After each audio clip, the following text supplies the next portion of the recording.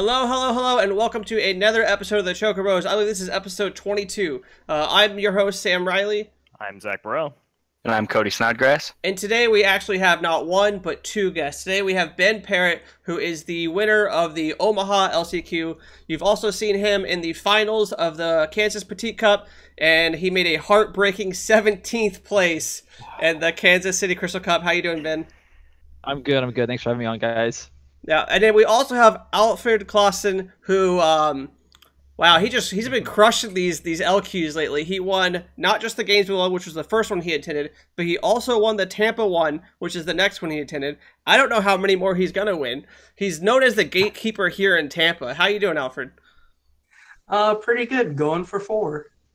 Good. Uh, and, and before we move on, I'd like to say a special shout out to our sponsor, Cars of Evilise. Uh, if you want to check them out, oh, Zach's sporting their shirt today. Oh, you can yeah. you can check them out for your singles and your your uh, your sleeves and your play mats. I think that they're they've gotten their their uh, Minfilia sleeves in, um, which those things are sexy. So check check those guys out. Okay, so this weekend uh, coming up, we got 10 uh, local qualifiers that'll get you a, a qualification to nationals. Uh, we got them all across the U.S. Uh, New York, Virginia, North Carolina, Illinois, uh, Yeah. Georgia. Sweet. Uh, Yeah. yeah. so And so 10 and- more and- spots. And if you're going to if you're going to play in those, now is the time to play in them, right? Because not only are these people that are, are the real grinders like mostly qualified, but then you have like people like Alfred uh, who just can't play this weekend. So it's your one it's your it's your chance. Yeah, and uh, I think Ben, I believe he's going to be at one of them, and I'll be at the same one, so we'll be there to gatekeep. So So, so yeah, there'll I'm looking forward to seeing you there, Cody. so there'll be Yeah, two absolutely. two soul crushing going on. Interesting. That's awesome. Oh man. So uh, we found out the nate or the uh, date to nationals as well, right? And then location and all Uh, that.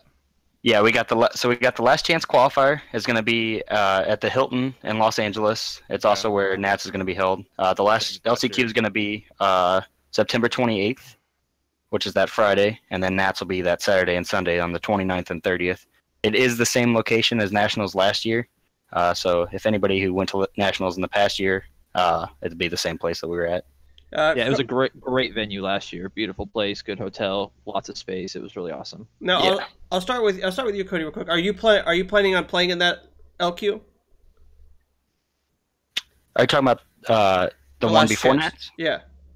Uh, if they let us, I will definitely play as long as I make it into California on time. Interesting. All right. What about what about Are you, Ben? Well, Um, I don't know. I'm in the air. I was actually talking to my team about that. Um, like if we do play, are you going to run your deck that you're running at Nats and let everyone see Right. it a day early? Right, Like, are you going to play a fun deck and maybe like scope out some decks and risk, you know, not getting good rest? It's uh, there's The some thing- pros and cons. so right. The thing is, is that if so, like you could just play whatever the best deck is going into the form the that that event. Like the no, the, there will be a known best deck, and then the people who think that they have a deck that's good enough to qualify, but they haven't seen it, but they haven't had a chance to play it, will play in that event. So it might be a good time to kind of to scope out what could be like a breakout deck for the next day. Right. Yeah. What about you, Alfred? Would you play in the Would you play in the last chance qualifier, or would you be more interested in you know resting or going out? Uh, I do better with rest. Yeah. Interesting. what about you, Sam? What are you going to do? I I think that I would play in it because um if I come up with something like some sort of like very secretive deck, which I've been working on, but if if it turns out to be really good, then I will definitely like hold that deck. But if I'm gonna just play what I think is like, so for example, if it was Earth Wind, I wouldn't have any trouble just playing Earth Wind the day before too, um, just to get more practice reps in. So, and those are the people that you really want to play against because their their entire Saturday Sunday is on the line. Um, so you know, I, I think that I would probably play, and I'd probably play the deck I plan on playing the next day, unless it's some sort of very unknown rogue deck. So, yeah, I, I, don't, I don't think that there's enough incentive. Like, let's say you go, let's say like, I mean, we're in Opus six now, but if we were in Opus five and you knew that was an Earth Wind, there's not enough that you could do in the early game against a deck like that. It really is like the Jund of the format. It felt like like there's not mm-hmm. enough where like if you knew what I was on, you could change your game style based on that. Whereas like it would be different if I was on mono water or mono ice. Those two decks can force a very specific game style plan. Whereas Earth Wind doesn't really care what you're doing; it's the one that's going to adapt to it. So it just depends I on the like- deck, I guess. Yeah, I think you've talked me into playing, by the way. good, good. Yeah. Have they um, have they released whether or not we can play if we're qualified in that last chance? They haven't said we can't. So Yeah. Okay, because play in the local qualifiers now, so I don't know why we couldn't play in those that, as well. that's ex- that's my exact reasoning and, and thought. that's what that's Yeah. what I thought. Also, I know like Mr. Cool, he played in their last chance qualifier when he was already qualified. Oh, okay, cool. Yeah. Hmm. Yeah, I didn't know that. Um, speaking of Let's Chance qualifiers, we actually just got done with one this weekend. Um, yes. We'll have Alfred and, and Ben talk your guys' ear off because they have much better experience than uh, Cody, Zach, and I. Um, I'll They- tell you about my have the road experience. to the top to talk about. yeah, I'll tell you about my experience uh, quickly. Um, I went into it just wanting to have fun, um, because I, to be honest with you, I was kind of over the format. I knew that the tricolor monsters deck was, in my opinion, the strongest deck, um, and it was a lot of fun to play. But I had played that so much. Zach and I grinded that even during Opus Four. We were grinding that so much that I just kind of wanted to play something different. Um, and then so I ended up just playing Water Wind and uh, I got crushed. Most of the matches where I just didn't draw backups, like uh, in game one, for example, against um, Jamal, uh, who eventually made top four, I opened with no backups. I mulliganed into no backups. I played a turn one Zidane, which is like the best I can hope for for no backups. Uh, and I Zidaned like I something out of his hand. Then he untapped, drew like Black Mage, Black Mage my Zidane to kill it for free. Right, yeah. And then I untap, no backups. Okay. Then the next turn, I draw my first backup, which was Minwu. And, I'm, and, and he's by the way, he's already got an archer on the on the field. So that that that's kind of my experience at the LQ. Granted, I didn't I didn't you know it's not like I didn't try. I did try, um, but I didn't try too hard with my deck choice. I was just kind of having fun uh, and trying to play with like these rangers and like cards I don't normally play with. So it didn't go super well for me, but I had a good time. I'm not sad that I played in it. Yeah, and uh, similar leaks. My, mine will be a pretty brief overview of what happened with my weekend. Uh, so round one, uh, I was playing a mirror. Uh, it wasn't too many cards off actually. I was playing the Wind Earth still uh, with a couple edits, and I was feeling pretty good. He was kind of discarding the whole hand, trying to kill me quick he saw he was on the mirror, and I guess he didn't want to deal with the like late game interactions. Uh, there, but there was one critical turn where I he was, had all of his hand was on the field. Uh, he only had three backups. I had uh, I think four at the time. Uh, through a series of plays, I ended up with five backups, but my fifth one searched Shantoto. So the next turn, I was planning on, you know, breaking a backup uh, with Archer, probably his Chaos or his Semi, and then Shantoto, and then there's no way I lost the game from there. And he drew, and I completely forgot to account for the fact he could draw Emperor. So he Oh. played Emperor, and I lost the game because I could not answer the Emperor uh, in order to get my Shantoto down. And I Sam pointed out after the match, and I just felt like an idiot. Yeah, I think that was Uh, that was one of the things that I think like one of the good things about like rewatching matches like that, you know, like because that actually happened to my opponent during the Petite Cup, like yeah, yeah. or I mean Crystal Cup. Like that's one that's one of the things you can actually do with the deck is you uh you plan to like lock them out of their backups. Right, right. And then uh, round two, I played Sam. Oh, Uh, we because we both lost round one, and then we played each other. Yep. Uh, and he won when we played. I had the weirdest series of draws, but I, I don't think even if I had a good draw, that was a Yeah, very good I also locked you out of your backups in that Um, round too, but I don't think there was yeah. much you could do about it. But like But it was I- more of like like you wasn't had to you had to do it, play. right? Right. Yeah, I, I had to pitch backups to play things so I didn't Right. die, which is Right. not a good place to be in a deck like that. Um, and then he did offer the concession to have me continue, but because of the Oh, way I man. played, I just didn't feel good about it, and uh, I just let him take it, and I dropped. oh, Zach. So, You'll get yeah. it next time. Um, so yeah, Cody, if you want to talk about your weekend. Uh, mine is very similar to how yours sounded. Uh, so we only had 11 people at the O'Fallon one. oh Um, man, that must have been nice. so uh, I think you still every, qualify with eleven? you qualify Oh, with any but- number now. Alfred qualified Oh. with six in Gainesville. Alfred's but then, first one was Oh. six. which again, in his you know defense, then he crushed the one at Tampa, like Yeah. not even close. So Lost lost no matches. Did you lose any game? Oh, we'll talk about it anyway. Actually, we'll, we'll talk about it. Go ahead, Cody. yeah, well, Okay, so uh, round one, I sit down against. Uh, let me find. It was a guy playing mono win. I was still on mono ice. His name was Cesaro Rodriguez. He actually ended up winning the whole thing. Um, I actually opened super well. I opened I like to open backups when I play ice, um, and I got going. Uh, but he kept playing Layak after Layak after Layak, which I tell everybody, everybody who's like complaining about ice, that's just the card that beats us It is is Layak. really great. Yeah. Hmm I, And uh, I um, actually played against him in the Crystal Cup. I think. I don't think he was on Mono Yeah. Wind at the time, but I definitely played against. uh, him. he was on Chocobos at, at the Crystal. Okay. He, he, yeah, he also top 16 the KC Crystal Cup. Got um, okay. Yep. So he ended up beating me. I couldn't get I couldn't get rid of his Adele. Unfortunately, I'd never drew a Glacia.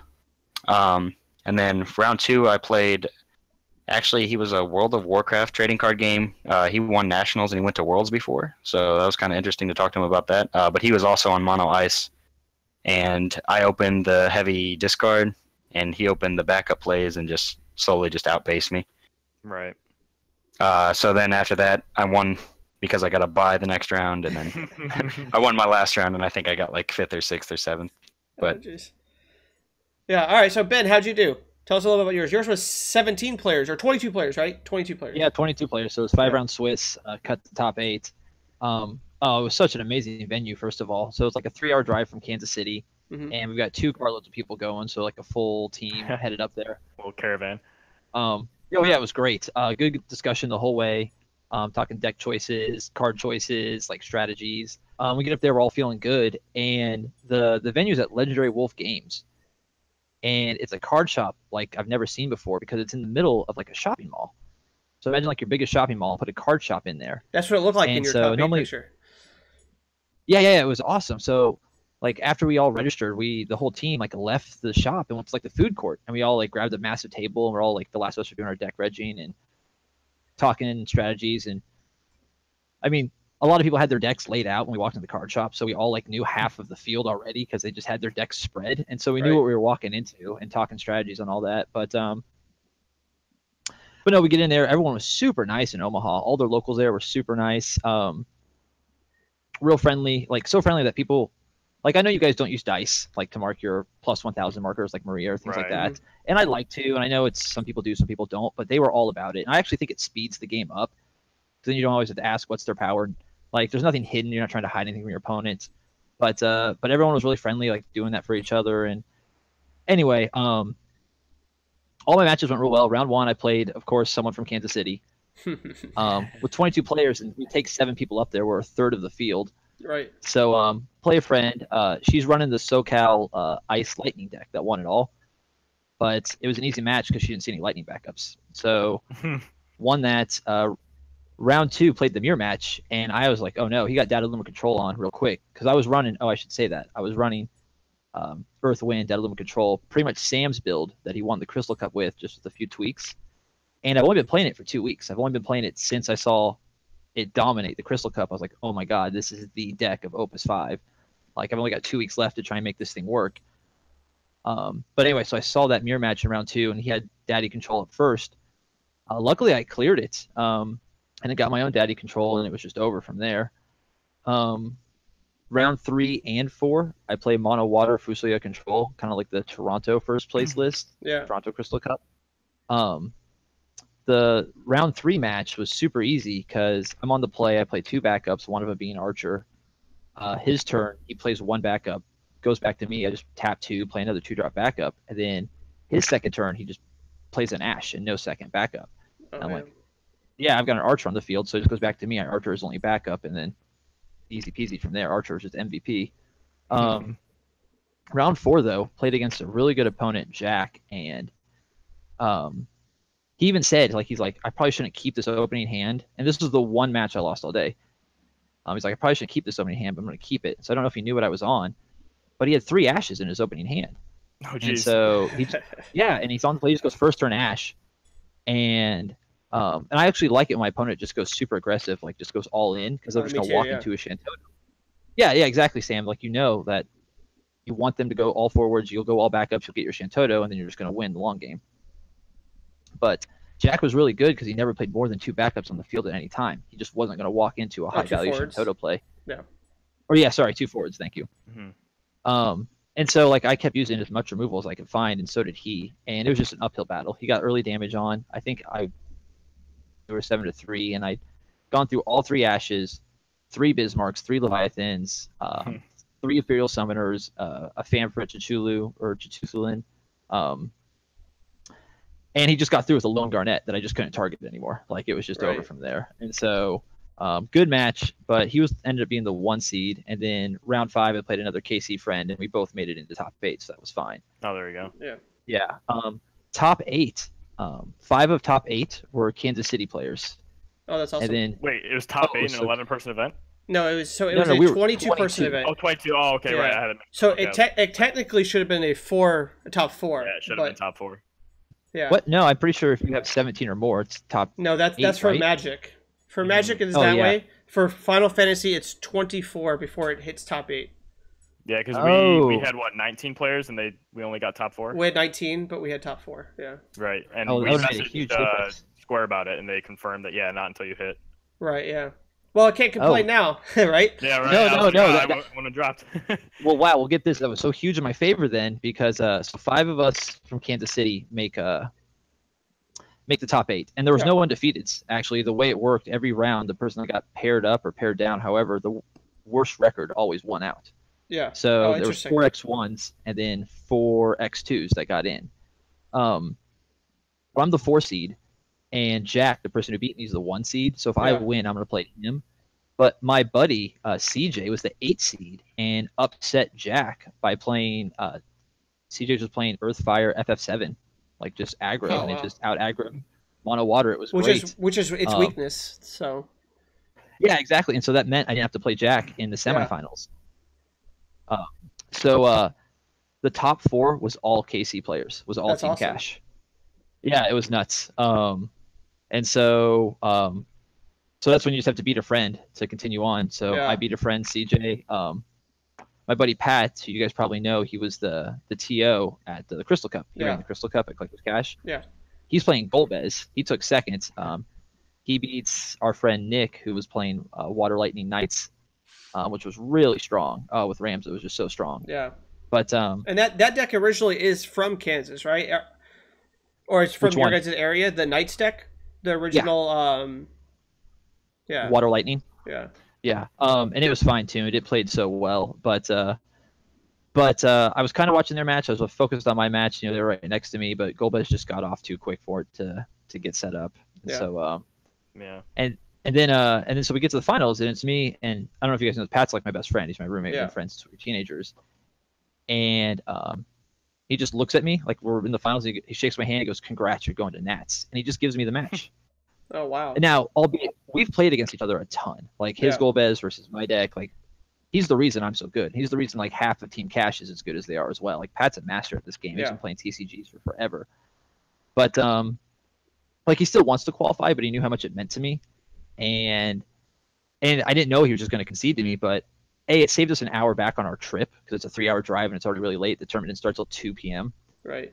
So and it's already like 10 p.m. at this point. But uh, but yeah, he just actually scooped it to me. I know it would have been an epic finals. It would have gone to game three like all of our matches normally do, Yeah. and it could have been. It's like a 50-50 match. His Golbez deck is so so fine tuned. But Yeah. um, Is it all backup or Um, all forwards or is it um? no, no, no. It's uh, it's like it's it's got Alcid combo. Okay, I'll have to Um, message and I him for a list. Yeah, ha- have him send me that. so that's just it. Me and Pat were actually talking. Do we want to make his deck public? You know, Oh, like yeah. I, I'm pretty sure Miles Tyler, the the guy that runs Legendary Wolf Games, will eventually post a deck list. I'm sure any day now. Okay, I see him Um, post all the time. Yeah, and uh, and like Pat's been running Golbez for a while, but it's been like top secret, like a Sam deck, you know. Um, and it dominates the meta whenever he plays it. Uh, and he, he runs all the tournaments at Collector's Cash though, so he never gets to play it. But Right. the he, he played it one time that Thursday night before the this last weekend, and he top forward with it. He crushed. There's actually four Golbez decks out of 20 players at our Collector's Cash locals tournament. Jeez. Oh and wow. so, yeah, it was nuts. So I definitely got my practice in against it. But Yeah. um, but yeah, he just he just steamrolled. His only loss was the same guy that I lost to, Jack, the mono water. yeah, interesting. Um, but uh, but yeah, so it, it everything worked out really well. Um, That's awesome. So you got your I took so many invite, pictures. Yeah. From the event. Yeah, I got the Nats invites. Uh, everyone Which is so which cool. is coming Um, after your 17th place, uh, Oh which my is God, so you're right. heartbreaking. Uh, for those of you guys that don't know, you know, I had we had talked about like not wanting to get paired against each other, Ben and I, at the Crystal Cup up until the seventh round, where we were like, you know what, it's okay, we can get paired against each other now. because a loss puts us both in. And so we sit down and we have a good match, al- albeit is a bit casual because we both just assume we're in. You know, um, I got lucky and won that match because he didn't open up with very many backups. Um, and then Archer was MVP there also. And Yeah. then we casually shake each other's hand and say, "Good luck in top 16. We'll see you tomorrow." Mhm. And then Benton got Yeah. seven, 17th. That was rough. My only two losses in the Crystal Cup were to uh, Joe Lazinski in round three, who was the defending North American champion, and I even still could have won that. Um, I was playing Mono Lightning, and I started out real aggro and had him hmm all, but then I kind of chilled out and like, oh, I got this. I'll play more control and just let him set up, and it was over. And then my only other loss was to you, Sam. So I lost to the defending North American champion, and then of course you, the champion, to win it all. And a a friend of mine was even like, "Well, Ben, if you want to win, you got to beat the champs." And it's like, yeah, you know, you're right. Like, don't re- don't rely on tiebreakers. Yeah. So yeah, that was a that was a disheartening X two for me for sure. So, so speaking of champs, Alfred, um, tell us a little about your Tampa experience, man. All right, so for most of the format, I tried I tried staying away from like mono decks, and but for the la- for the two local qualifiers, I ended up playing mono lightning and this time mono ice, exactly card for card Cody's build. Yeah. So with so with Oh, that yeah. deck, I I played tested a few games. Uh, I played especially against uh, Andy Carmona, hmm and Did you did it cut out there for you guys? yeah. Yeah, Yeah. I lost him. I didn't I couldn't hear anything. Um, Alfred, Alfred, you still there? so Alfred's mic might have cut out. Um, real quick while we while we get that in, um, I know he play he was playtesting his he played it with uh, Andy Carmona for a bit. Um, Mhm. and then also so he played Cody's exact deck list. He borrowed the cards from myself. Um, yeah. Well, funny enough, he actually played in, in Gainesville when he won that one too. He borrowed that deck from me. We can hear you now, Alfred. He borrowed that deck from me too. That was my exact mono lightning list. Um, that's the list I also sent Ben later. yeah, that was a sexy list. I really Yeah. like that mono lightning. So and Ben and you played that one, right, Alfred?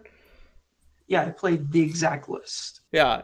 Uh, no, actually, no. You changed one card, right? You you put it in Emperor or something like that because there's a lot wait, of monsters mono, deck. The mono lightning build. When you played yeah, the yeah. I, I played. I put in one emperor, took out one Zemus. Okay. Yeah. So so tell us more about the Tampa. So you were- you were testing with Andy. So I was testing with Andy. I really liked how well the deck flowed together. So I was just like, you know what, Sam, I want to play Cody's list. And it was it was actually my first time playing uh mono ice for this format. So I was just like, you know what? I'm ready for anything. Going to round one, mono water, and I'm just like golden. Yeah, I, I, picked the right deck. Yeah, it was exactly perfect. Um, opponent was playing a more, they were playing a more like old fashioned, kind of like an Opus 3 kind, where they're playing like decent for decent value forwards and like a bunch of control summons. Uh, I ended up just like dropping an early orphan, freezing a Titus legend the whole game, and he couldn't do anything. oh geez, Titus Legend, sweet. round two was the was basically the exact same story. I played against Mono Water, one of the newer players at our locals. I'm really bad at remembering names. Was it Jacob? Um, I think so. The one that we were helping with his list uh, the night before. okay. Uh, Yeah. So, face mono water or uh, face mono water again, same story. Just felt really good. That matchup's really solid for mono ice. Of course, yeah. You get to Going put down around- pressure and discard their hand. yeah. Going to round three, I'm playing uh I against uh, our friend Ian. He's playing the ice water Ultimecia deck that he really likes. Yeah. He got to the point where he had Kam'lanaut and Ultimecia on board, jammed them both with a Vayne. He couldn't he couldn't do anything about that. And when he had the answer to the Vayne, I just respond and say, "Oh, goodbye, uh, Zalera. Goodbye to all of your dudes." Oh wow. And he just he had no answers for it. Round four, I faced Jamal. He's playing. What was it? The uh, Lightning Wind Tempo deck. Yeah, Yeah. the lightning wind. that deck felt that deck felt like another deck that was just like completely helpless against uh, what Mono Ice does. Yeah, that Uh, it's it's a very Opus Four E deck, right? yeah, Yeah. That was like what Hildibrand and Chocobos? What's the No, it's it's it's like everything is relying on damage. So it has like um, Rick Diaz Onion Knights Alcid combo, but it has like Orlandeau's, um, Cactuars. Cactuars, uh, Uh, Ramaz. So, Yeah, he had a couple layaks, I think. yeah. yeah, so It was a very weird. It was a very weird deck. It just felt like completely helpless uh, against what Mono Ice does. right. He never really had like good avenues to victory because he's just sitting there and it's like he would have one piece of his combo, but he wouldn't have the other piece of it. So he couldn't piece anything together to remove anything that I had on board. That's why that Uh, deck, or at least Jamal and I talked to Jamal that, that he needs to be running Zemus because it allows you to like come back against ice when you just resolve a Zemus, and then like later on in the game you get whatever other piece of the combo you need. Yeah. So then round four or round five rather, I play against Alejandro, one of the Miami guys. Yep. Uh, Alejandro He- was also at the Crystal Cup Kansas too. Yep. he was also playing uh, Mono Ice. It's literally one card different from Cody's build. The only thing he changed was like Bard out and Arcanist in. I do like Uh, Arcanist. we we got to like this crazy board state. We both had an orphan. We both had a Setzer. We both had Vayne. We both had Celeste. We both had our anthem. We were just sitting there for basically the entire game, uh, doing almost nothing. But I had the advantage because I decided to establish uh, forwards early by playing the um, by going turn two uh, Thessalian Empire Sid turn three Setzer lock. Uh, so I could pressure. So if he decides to play backups, I can just pressure him with damage. So not only do I get the damage advantage uh, on him, but he started discarding some of his three drops really early and never played anything to get it back. Where I had, I had both Bard and Devoured on the board at one time. I'm putting twos and two drops and three drops so that I have something to attack through the Arcanist. Eventually, it got to the point where the only way that he could survive is the hope that uh, Zalera could stop my board enough. But the problem with the Zalera play was that we still were, uh, he was still struggling to keep a hand presence. Uh, the Zalera put him to zero cards in hand, uh, which is exactly what I needed for the Sid Ostaline to finally be able to just drop the Vayne from the board and be able to untap the uh, orphan and just win the game. I don't think you can ever purposely go to zero hands in an ice mirror because that yeah that exact reason. Yeah.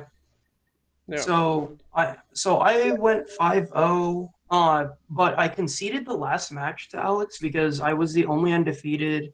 Uh, he was X1. I knew, uh, and he's one of the. I I really like the guys from the Miami crew. I'm good friends with all of them. yeah. So I so I decided that uh, because Andy was already out of Top Cut, that uh, Alec that I definitely like to see at least Alex uh, make Top Cut. So it goes to top four. I uh, it's me against Jamal and Alex against uh, the other new mono water player. Mhm. Uh, I think that was Jacob. That's Jacob. Yeah. Oh, Yeah. is that the other one? Okay, then the other one was Matt. No, so it's Matt, Matt, and yeah. Ja- Jacob. So Yeah, you so so, Jacob was the one who made top four. Yeah. So Alex played against Alex played against him. I played against Jamal. Uh, playing against Jamal, it was another 2-0. That matchup, it was just really bad for him. Uh, yeah. They they had a really weird thing going into time in the other match. Mhm. And uh, Alex and Alex ends up putting it uh, pulling through Alejandro. hmm Uh, and Alejandro says, I don't, basically says, I don't want to deal with this matchup because you conceded, you allowed me to get into top four.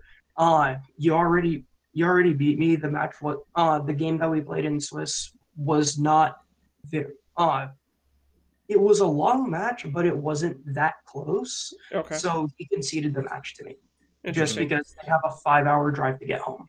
Yeah, So- yeah. I you do- don't want to play mono ice versus mono ice for 70 minutes. Yeah, I do want to point out a few things real quick. Uh, one, I'd like to talk about is the match with Jamal because Jamal is a local here, and uh, so you and we'd all consider him a friend. So you had to kind of crush a friend out of the top four, which is like a hard place to be. Swiss is one thing, but cutting, but like being able to having to play someone out of the top four is another thing. Um, how'd that go for you? Like, what what were your thoughts on it?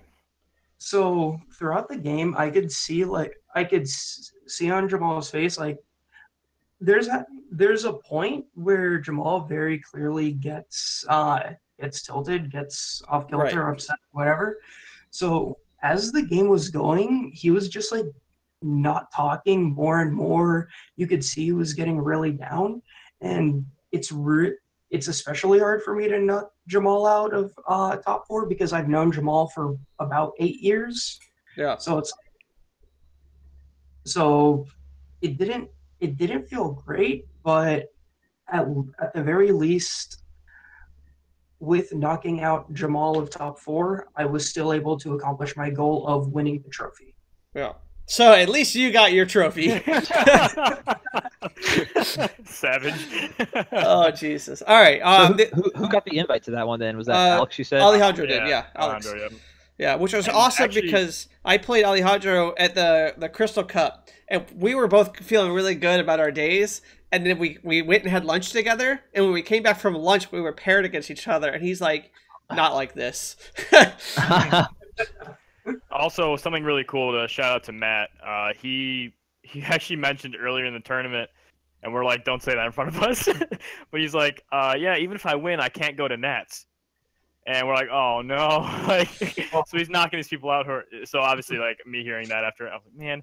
So he gets to this top four match and against uh, Alejandro, and they get to the last, uh, they get to the end of game two, and there's three minutes on the clock. yeah. Now this is a mono water match against mono ice. Do you mean and- Jacob? Because I thought Jacob was in top four. I'm sorry. I thought is it Jacob? Yeah. I don't I, remember. I'm meant. Anyway. Place one Yeah. does.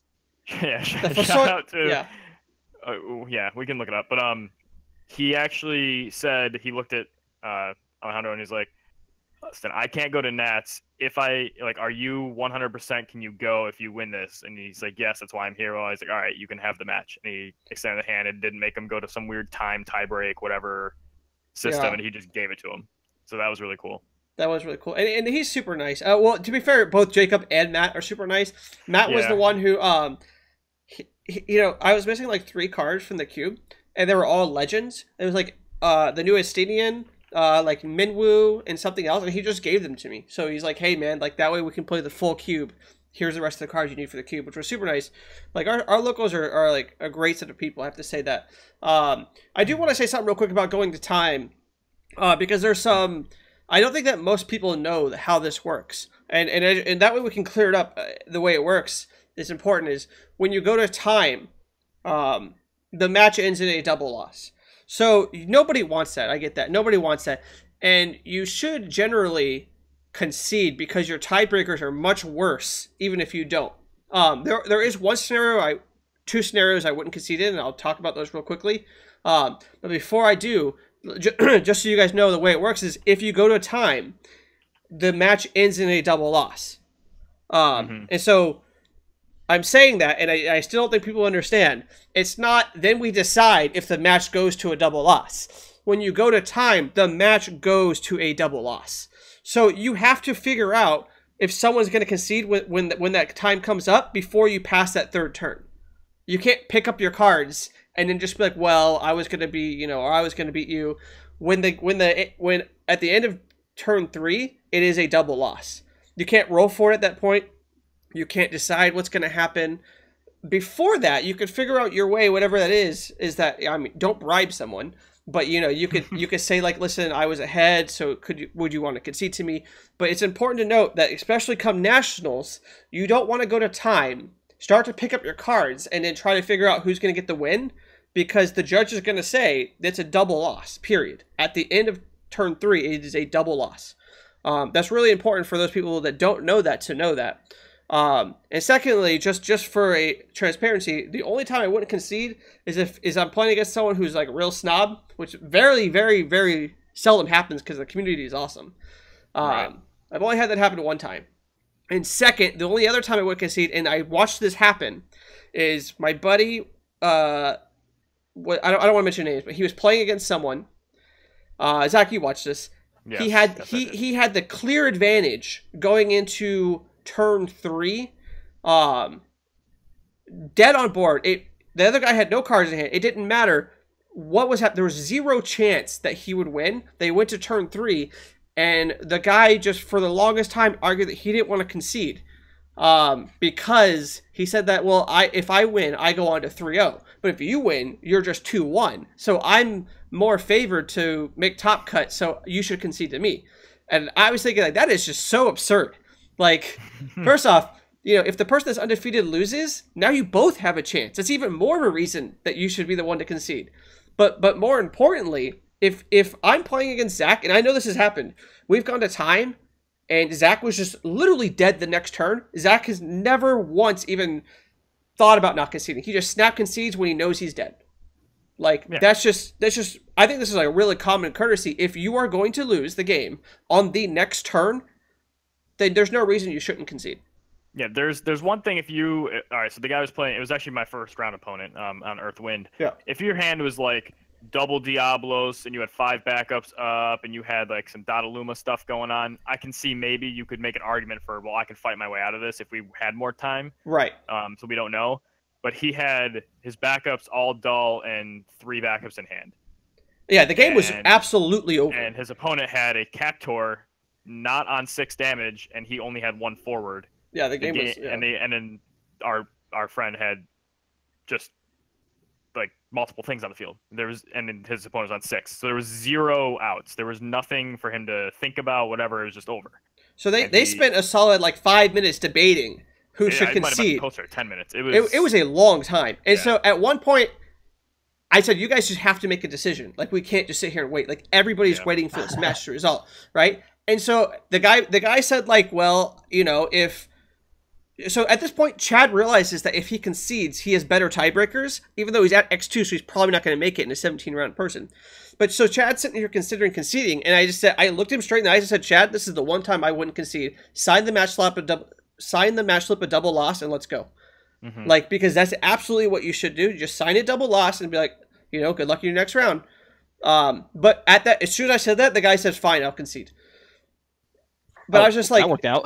well, you know, but I'm just like, I, I just could not believe that. I don't know, like for and me, for the record, this has nothing to do with the fact it was one of our friends either. This You're could have been right, of course not, It's, yeah. it's the situation, not the like who it was, whatever. if like, if it's- I had been that person, Zach would have been like, "What the heck, dude? Like, why wouldn't you concede there?"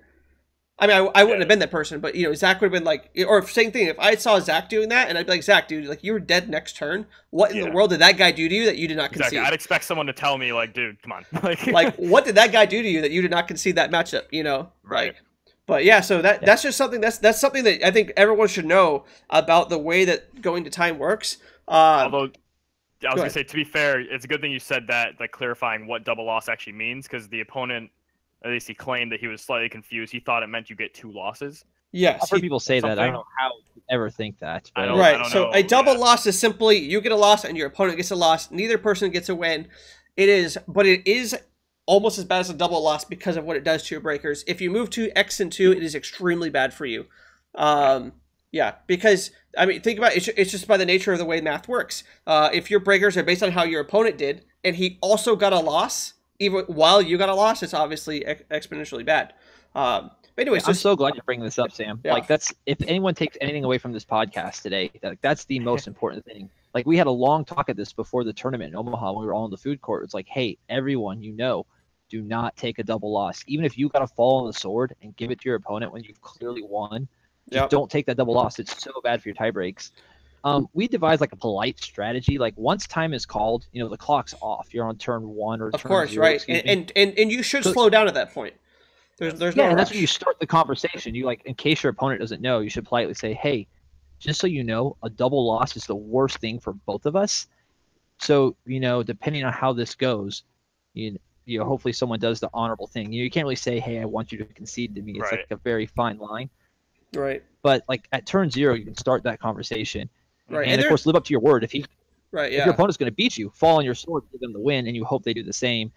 And then if it's really tight, you know, you don't know who's going to win. Someone just got to do it. Like it's just the worst thing ever to take the double loss. That's the most important note. I'm really glad you brought that up, Sam. Yeah, um, yeah, and and that, that that's really true. I think that you should never like don't ever like kind of be like, well, maybe like in four turns. It's, it's not like that. Look, what does the game state look like right now? Not not like, well, does your deck contains Shantoto? Could you possibly get out of this? It's, it's very much like, what does the game state look like right now? Okay, let's make it let's make an informed decision based off that and move forward. Um, and, and there's no reason not to do that. I think. But Right. anyway, so moving on. Uh, speaking of thing about time limit, we've now got an event with no time limit. Um, that's the the team event coming up. Um, the team event is a an event that we're gonna do be doing on Octagon, and what it is is is you'll have a, a team of three plus a backup, right? So, for example, my team right now is myself, Zach, and Angel, at, with uh, Cody as our backup. Um, and I believe, uh, for example, another team is uh, Jonathan Sorde, uh, Andy Carmona, Alejandro, and Alfred as their backup. And so Yeah. basically, what it is is the three decks that you run, um, you don't have to have a deck list, but they can't share cards more than three. So, like, if I have two Shantotos, Zach can play one, Angel can play zero. And so it's, really just like the world's format. Right. It's the world's format split up among your team members. And then you play. We're not exactly sure what's going to happen, but I know that I know, like right now, that there's uh, Robert Phillips, Joshua Freeman Birch, and Jamie Faulkner are on a single team.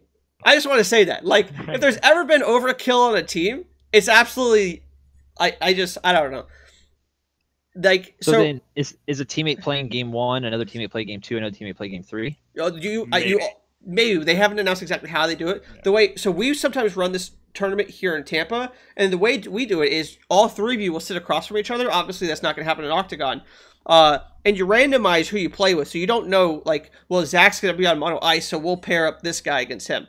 It's random, and you all three play at the same time, and the whoever wins the best two out of three wins the match. Yeah, we did it by position, so like you always sit in the same like order. So Right. whoever you sit across from is who you play. Because Right, otherwise, yeah. you can do this whole metagaming thing. Right. So like I could like I think on our position we ha- we have a position set. I don't remember what it was, but whoever's name uh, Zach ended up putting the names down. So whoever's name who put down first will be like position one, two, and then three. And then Mhm. if they're not playing, let's so like let's say I sit one out, uh, then Cody will play for me in that position. Um, now whether he has to play a fourth deck or he has to play my deck is unclear at the moment. Um, that'd be very interesting if it went to a fourth deck. That'll get pretty steep. It would be because you have to build four decks, but it is really cool that you get to build these decks. Um, one thing that's even cooler is that since deck lists aren't required, like if you're kind of working on a deck, but there are some individual choices you don't want to put out there, these these events aren't necessarily going to spoil that chance for you, which is pretty cool, I think. Right. Yeah. Um. That that's when the does that te- start? so that start. I think the last sign up day is tomorrow, right? And I think yeah, they only have one spot left. British time. Yeah. Yeah, so they have one spot open. Um, if you don't know the group, it's it's FFTCG space uh, Octagon OCTGN. Um, yeah. And then so- you have to go to the Eidolon Festival slash Yep. team whatever event page. Right. Yeah. Uh, so, and again, we've done podcasts on Octagon before, but I know a lot of our, our listeners still haven't been able to try it out yet. Or if you have a Mac like uh, Co- Cody over here, you don't get to, you don't get to play on it. But so Octagon is a great way to play for free. Uh, if you log on, you'll also you'll also uh, you'll often see Alfred playing against Andy Carmona. Um, I they were nice enough to let me tune into their match yesterday. Although I don't know if Alfred even noticed I was watching, but.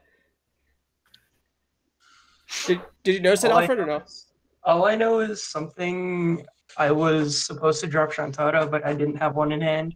Oh no, no. So what happened is you had like like he just kept playing forwards to the board. At one point, he had Paine, Yuna, Rikku, and Garnet, and you had just played your third forward. I'm like, oh god, here comes the Shantoto, and then you're like, and I'll play my Eald'narche. And I was like, oh, this game's over. this game's way over. But yeah. So yeah, so you guys can play on there. But anyway, so the, the team I think the team format's really cool. um, Magic the Gathering actually now has a thing where you can qualify for the Pro Tour with a team event. So like, you know, you could show up and you could go with two friends to the Pro Tour. Uh, there's nothing cooler than, than that to me. I think it would be really cool to see that in Final Fantasy. What do you, what do you, Ben? What do you think about that? Like, what if what if your qualification here meant that you could take two friends with you to Nats to play in a team event? Would that be better, or would you rather just be the single event that we have now? Oh no, that'd be awesome. I mean, you know our cash scene, we would crush it. I know like your team's probably gonna crush. Like we have a lot of confidence in our group, but I, I have a lot of confidence in my teammates as well. Um, I mean, Square Enix is like halfway there. They kind of did that with Worlds, you know, having you can't share three of a kind across three decks. Um, Right. So I mean, they just got to take it a step forward. I think it'd be awesome. I mean, they already have a sealed qualification. You know, the Crystal Mhm. Cup. Right, yeah. There's a sealed Right. format, so that opens the door for other formats to qualify in. Like it is. It is something that they're way to be good at this game. Right, and they also have the All Star format too, which we do a lot here in Tampa. Uh, this Friday night we'll be doing uh, Cube Draft, which is like the All Star draft. Um, my my list is different from the actual official list, but I expect the official list to change eventually anyway. So I like to keep my list updated. But yeah, so there is All Star. so All Star is um. Do you know what cubing is? Is it Magic? Yeah, yeah, yeah. It's also it's Final Fantasy Cube. So I actually have one built. All-Star. Yeah, that I, I I mean I don't, but that's that's what they call it. Um, I have mine with me. I'll bring it up here in a second. But they so they have um, that's what they Square Enix decided to call it. Um, but so you can actually qualify. They've they've announced that they're, they're not qualified for Worlds, but they're going to have a tournament. I think in Japan that maybe qualifies for Worlds or qualifies for something That'd be Um, interesting. in the All Star format. So it's, a, it's an officially like sanctioned format, which is pretty cool. Um, so here I'll just pull up my box real quick. So here's where I keep my All Star thing in. It's like super, you know. So basically, in here um, is the All Star cube. So I've actually never had to pull this out on camera before, but so then it's like you know one of every card or whatever of at least the good cards um, in Final Fantasy. And I actually like that I keep it in these these six uh, deck boxes too because you can actually do a sealed thing. So like if you you just like this is your sealed pool. You open this, you have six players. You build your deck out of here just like you would if it's like a pre-release, which is actually really cool too. And a great way to practice if you guys ha- don't have a lot of limited practice. Build an all-star draft. You can build a really cheap one. You can build a like a commons and rares like a popper one, uh, which is another format I want to talk about um, too. So I think that's really cool. Uh, Alfred, what what do you think about the f- a world's format like official event that would invite people to Nats? How would you feel about that? Uh, I really like Worlds format purely because I really like diversity in uh in deck building and being able to see multiple elements and being able to see multiple elements and how different choices for mon- monocolor versus dual color and now uh with how recent formats have been going uh three color decks. Yeah, Right. it's very interesting. Yeah, because your element choices uh sometimes you're gonna be able to see what people can do with the lesser used elements like with how water's not been doing as well as it has in like opus 3 or Right. fire not doing things ever. Yeah, that's that's really interesting too. Yeah, and, and you have things like wind, for example. So like, who's gonna get the wind? Because like tricolor support wants wind.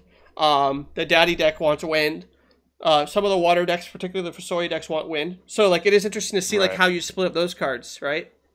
yeah I Um, feel like it also weeds out the one trick ponies. You know, someone that's just Yeah. good with just one deck, that's all they play. You know, it- Right. it, diversifies your skill set, which is what I think is a good skill set to have to be able to play anything at any time. It That's does, what I love yeah. most about it. Yeah, I mean the process to getting to that point is fun too. Like figuring out how you can weave in, like if you want to play water in two decks, like oh which half of water am I playing? Like that's cool to Mhm. me too. Right, and But it yeah, also the- it stops your Shantoto, uh, you know, spread. yeah, right. Which is so the most interesting. matching Your of- Shantoto spread. Mine, yeah, yeah, that's pretty fair, yeah. But uh, yeah, so uh, you could either do, you know, each deck has one Star Sibyl, one Shantoto, one Chaos, one Cam, or something, or um, so. But then, but yeah, you, then you get to play all these different decks. Like I might have to play Mono Lightning, which I don't have a ton of experience on, but it's something that I'd like to learn. But I've never had, you know, the drive to play because I always have something else to Yeah. do. Where if I had to build three decks, that might be one of my three. What do you guys think if they had a and, and this isn't basically on the world's format, but going dipping into other formats, I know uh, you can see that that nice, pretty poster behind Ben back there. He won that actually playing title format. What do you guys think that if we had some sort of, uh, you know, it's a cup, some sort of GP like event, uh, maybe like three spread out across the United States, or maybe four even, uh, so the uh, the Western guys get one too. Um, what if it was one person plays uh, Opus Six Constructed, one person plays Title, and one person plays something like Popper, um, or so so different formats. Uh, and in these big events, you know, maybe the top two, just the finals, those six people, and I say six because you'd have three players on a team. The right. top two teams get invites to Worlds or invites to Nats at the very least. Like this, that sounds pretty dope, right? That sounds awesome because you get to. It turns into not everyone's going to be playing the same. Everybody gets to play a different game of Final Fantasy, which yeah. is very interesting. Something I think would be cool too is is in order to make this last chance qualifier a little more fun or a little more like, hey, me and my team want to go, but can we justify splitting the hotel and can we split by the gas? What if something like the last chance qualifier, the very last event to internationals, was this team event where the three people got to internationals or like the, the top six and like right now i think they're giving out eight invites it's like the entire top eight or maybe it's top four but either way mm-hmm. instead of doing that we could do like the top three teams um, would get the invite to Nats. That seems like really cool to me. That'd be interesting. That'd be sure. great. I mean, economical for the team. It just makes sense to bring more people out there because yeah, the whole team gets qualified in at that point. Right. So if, if let's say let's say like you know I was let's let's say Zach, uh, myself, and Cody weren't qualified, but we wanted to play, and so we, we could split the hotel. You know, we could split the food. We could split all the arrangements.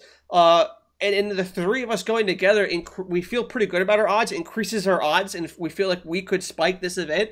It would make the trip a lot, a lot more worth it. Whereas, like right now, for example, let's say that Zach doesn't win one of these qualifications coming up. I don't see Zach flying out to LA to play the night before nationals to see if he can make the event.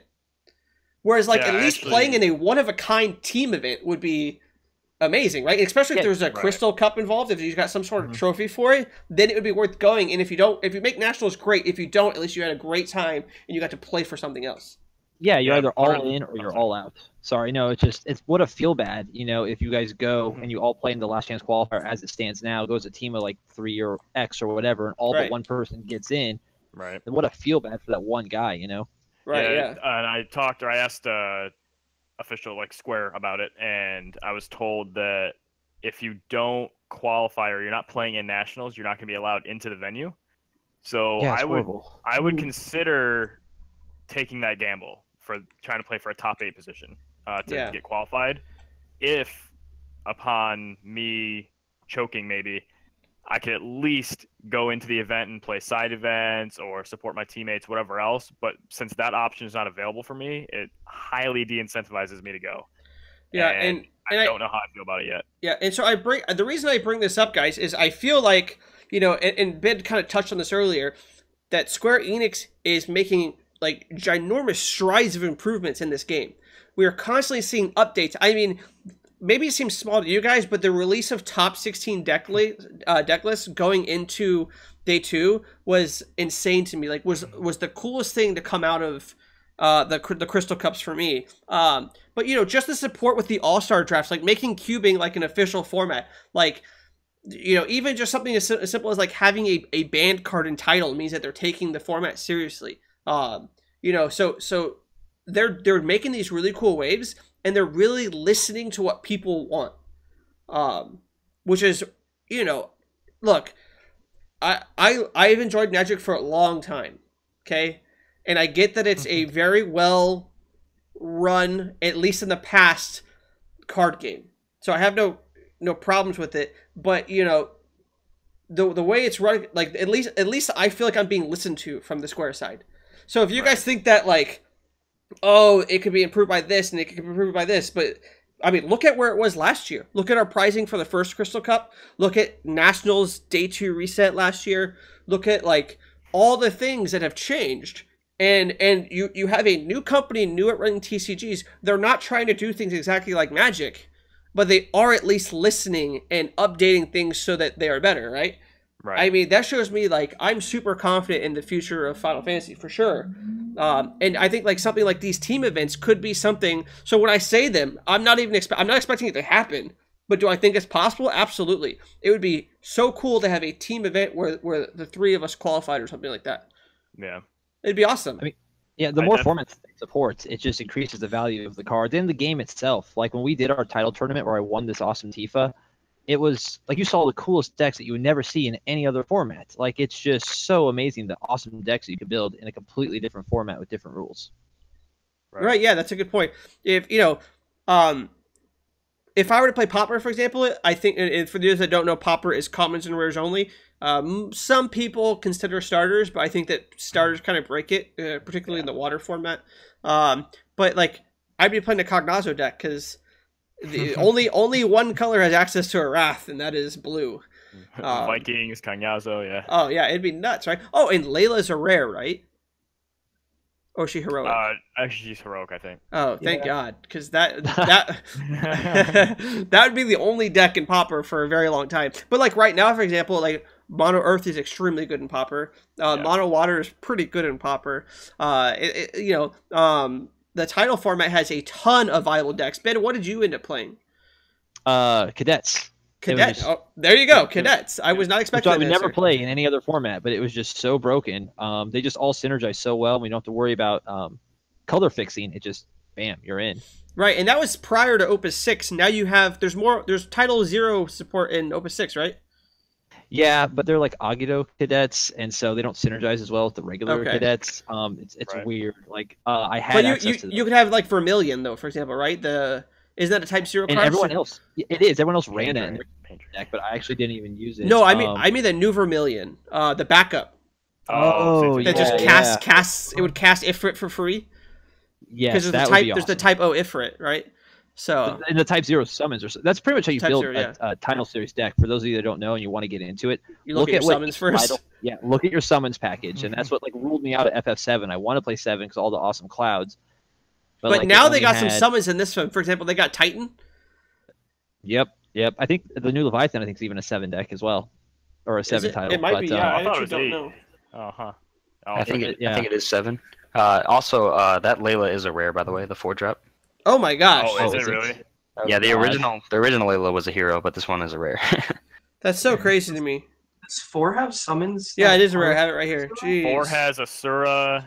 Um, I think maybe one other summon. It doesn't have many though. No, uh, Uh, four took second place in the title series. Um, oh, it four was is uh, sick. yeah, I love Archfiends. Just Archfiends was so good. You have Golbez to search two of them, and you can go get Edward, so you can't get hasted out. Oh yeah. Oh, we just lost Ben. Okay, I'll see if I can add him again too. Yeah, I was trying to find that Live from Leviathan. Seven. to It's from seven. Oh, you just looked it up. Yeah, yeah. So they they they, they did get that, which is awesome. And the Titan is also seven. Yeah. All right, let me see if I can. Oh, it just looked like the, all of his stuff got muted or whatever. Um, do we have But I anything? wanna- Do we have? Go ahead, Alfred. the four build that I actually want to play is the Fusoya build, just because like having being able to play multiple Cecils on board, you could just have like you could have the uh, OG Dark Knight Cecil be able to fu- be able to get get in your Fusoya plays, Oh then yeah, play the, then play the Dark Knight Legend, uh, blow something up. Yeah, Yeah, 'cause you can just dark people. Fusoya. The water Yeah. one protects them both. Yeah, yeah. That's Cecil everywhere. That's the dream for me. yeah. I I played some title decks uh, for fun when I was in Boston. I I actually brought Fusoya. Um, I brought like a Palom Porom deck too. That like I, I I played between the two of them. Uh, I know like typically if you're like a tryhard, uh, you could play uh, the tactics deck, right? Because it, it has all the good summons. Yeah, Yeah. it does. So like if you ever attack the tactics deck, you're gonna get EX bursted, which is pretty cool. But yeah, I, I think it, I think that like just the amount of like deck building going into it would be really cool. I think that if we had an event for Popper, um, on that scale where hey, look, not only are you playing for an invite, but your record directly correlates to your two teammates getting invites to this big tournament, then you would see the Popper format explode with popularity oh yeah. because it would matter. Um, right, right. which is really cool. Um, I don't know that I don't see a way that they could do it with draft. Um, like maybe cube because we do te- so the way we do cubing too in Tampa, by the way, is we do team cubes. So we usually split. Last time we did uh, teams of five, uh, or two teams of five, so we had ten Yep. people. But normally we'd like to do two teams of four. Um, and so you alternate. So like if if Alfred's sitting on my left and Zach's on my, on my right, neither of them are on my team. So if I open like a a busted card, like Ultima, for example, is very good in Cube. I'm not gonna pass it to Zach if I think he might play it. Particularly like let's say I passed him like a Terra and like he has ways to Right. search for this Ultima, or I pass him like a Rydia, I'm certainly just gonna take that Ultima, even if there's a better pick in those colors. Um, which is something extremely unfamiliar with a lot of people who have not done a lot of drafting. Uh, so I don't know if they would be able to do team drafts because it'd be really hard, like the way it worked. But I could see like a team sealed event where like you get uh, 12 packs and you need to build this pool, or maybe you get less. Maybe you get like like we could work with maybe like no, maybe 12 packs is the most I'd want to do with three people. That's already really pushing it. But I could see building three decks out of 12 packs. Uh, three decent decks. And you could do that to qualify, and people would take sealed at least more seriously. That being said, um, that might even be good for brick and mortar stores because they would sell a lot of packs. But Right. for the actual uh, game to progress, I think the seeing title and seeing um, Pauper be more relevant formats would be really cool. You know what it takes to make really good events though is really good prize supports. That's like I hate point, to too. say that like players aren't selfish, but they do want to be rewarded for good play and like putting all this time and investment into making a good deck. And so like the event that we went to, um, there was the local Shane Cox who makes these perler bead arts like this Tifa behind me. Yeah. And he has uh, his company Steel Steel Sky Studios, excuse me. Um, and he we all knew he was putting up this for the first place prize on top of other stuff. Like twenty something people for a title series tournament. You know, like that's it was massive. It was really huge. And so as long as you put something cool on the line and make it worth it for the players, Square could Yeah. promote any format that they wanted to realistically. Yeah, you know, You say that's a perler bead? Art? Yeah, that's all Yeah. perler beads. Each one, yeah, that's Oh, all beads wow. right there. Okay. yeah, Yeah. It's, it's awesome. yeah, uh, you know, uh, actually, you know, our sponsor, Cards of Release, uh, the owner James Lockwood did something similar with his event.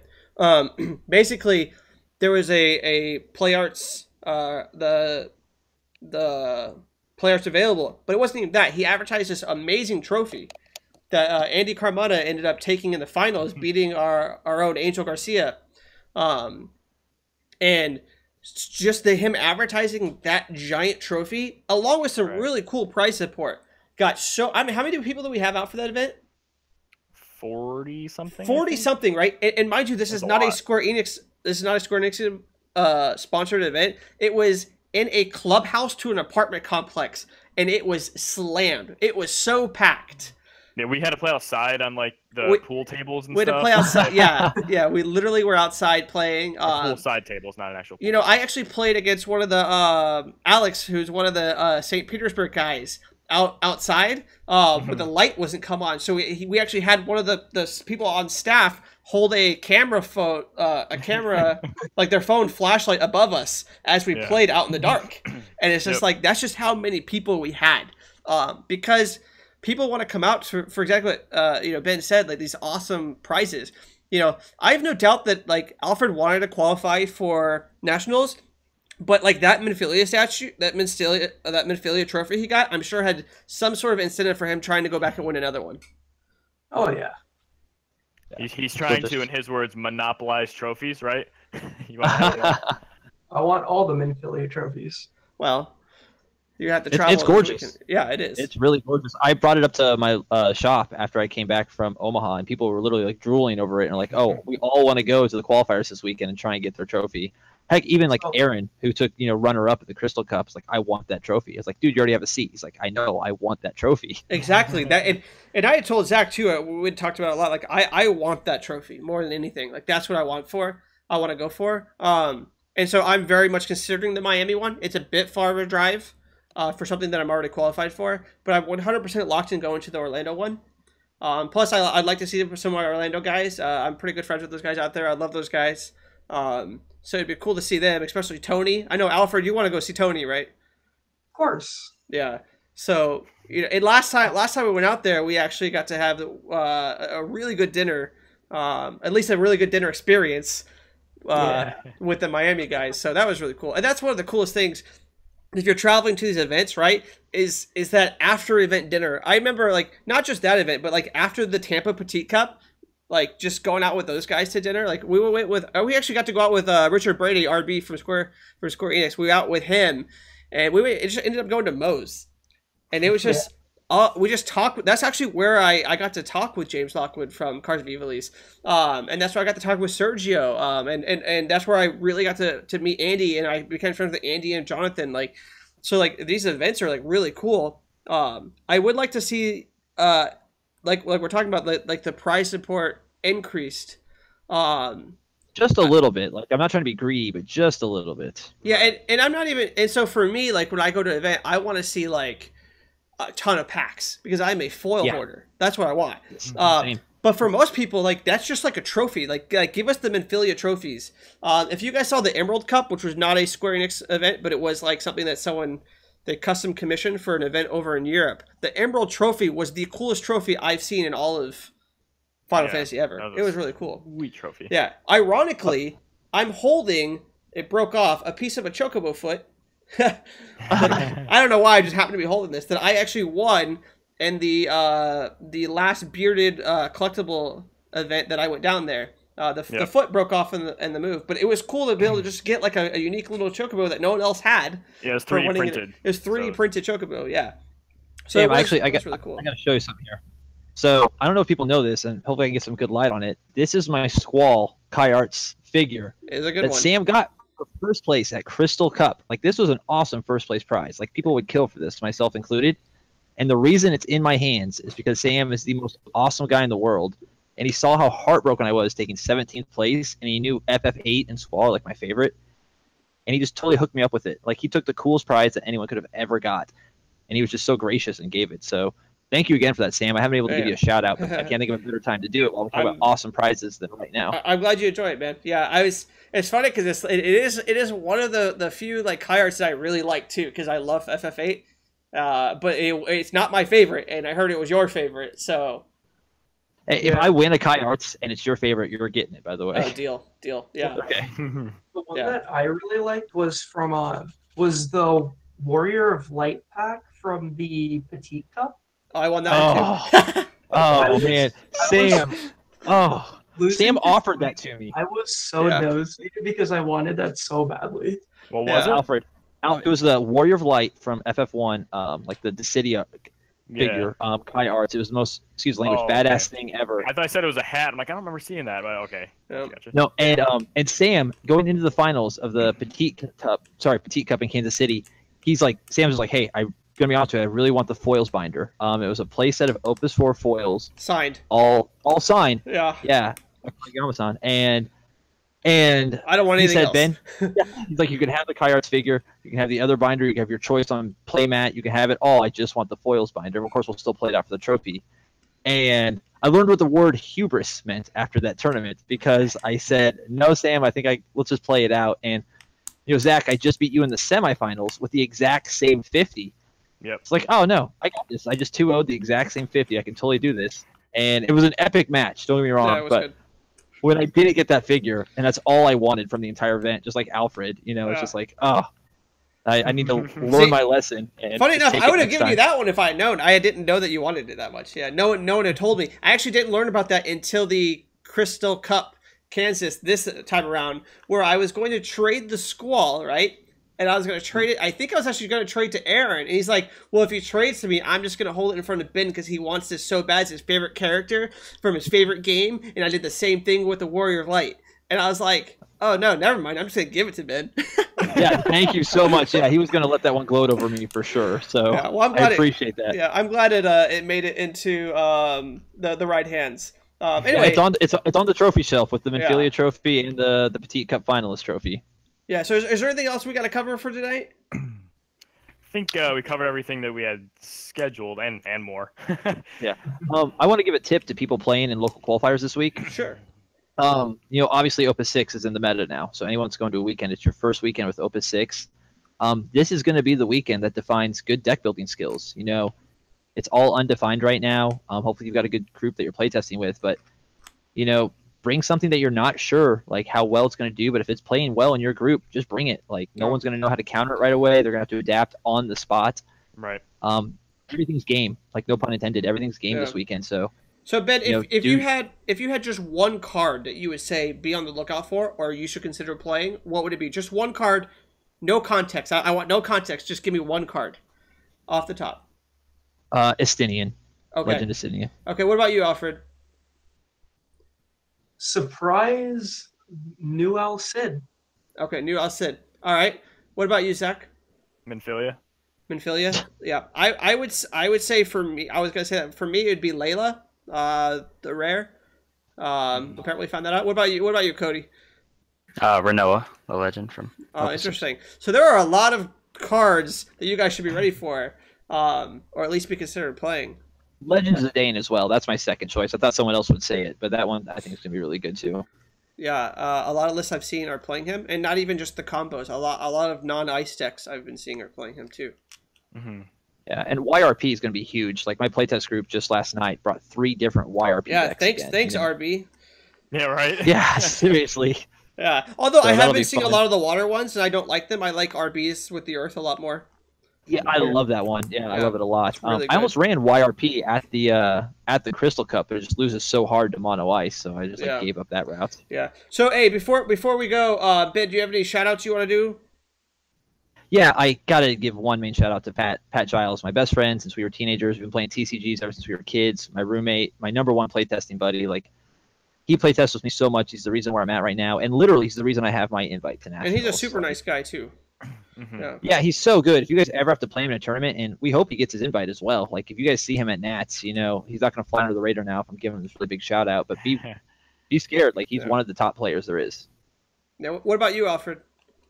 Um, I'd like to shout out to the Miami crew and to Chad, uh, one of the guys from our locals. They Chad is uh, an awesome dude. Yeah.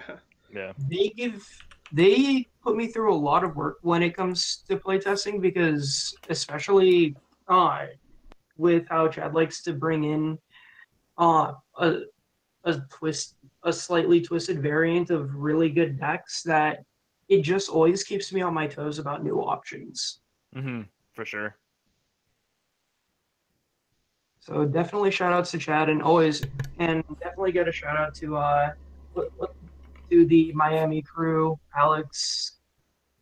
Congrats on making your qualification Yeah. I'm excited that he made it too. better. Okay, guys. Well, that, that about uh, wraps us out here. Uh, just want to give one big shout out to Cards of Evilise again for sponsoring the podcast. Yep, there's Zach showing it off. And then uh, want to give a big shout out to uh, Ben and Alfred for joining us today Thanks- thanks, and taking guys. the time out of the night. Uh, congratulations to you anytime. guys. Can't wait to see you guys at nationals. And then Ben, obviously, I'll see you this weekend at the local. Yeah, I'm looking forward to that, Cody. Yeah, safe travels up there. It'll be fun. Man, I'm so Yes, jealous you- that you guys get to hang out. Yeah, it's gonna be awesome. But I guess could the be thr- a- I guess the three of us get to hang out all the time too. So Yeah.